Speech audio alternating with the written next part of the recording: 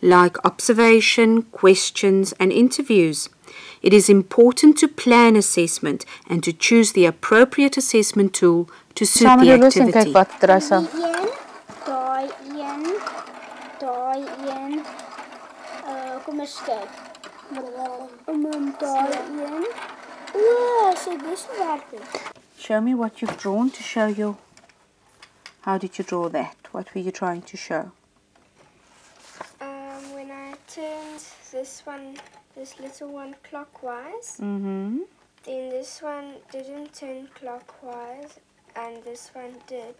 So it actually means that if you do the bottom one, th- that the second one after it um, also turns clockwise. Very, very well explained. Okay.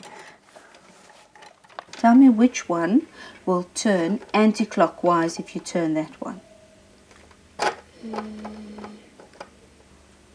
This one and this one. Okay.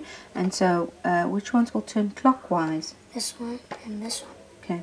Why do you think this one turns anti-clockwise and this one turns clockwise? Because these two are almost like joined here.